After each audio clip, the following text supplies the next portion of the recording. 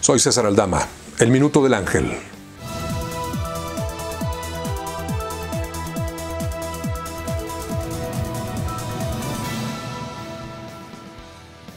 Ante el COVID-19, parece que cada quien le cree a quien quiere creerle. Con las redes sociales las visiones únicas se complican y rodeados de una opinión pública polarizada se pone peor. Por un lado, la oposición o los conservadores quieren aprovechar una pandemia para atacar y en su ansia hasta inventaron una muerte.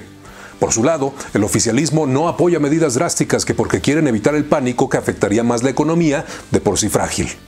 Y ahí en medio están miles y miles de personas que no tienen de otra que seguir trabajando, yendo y viniendo en el metro o en camión y sin dinero para desinfectante a expensas de lo que dispongan los patrones y encargando a los niños.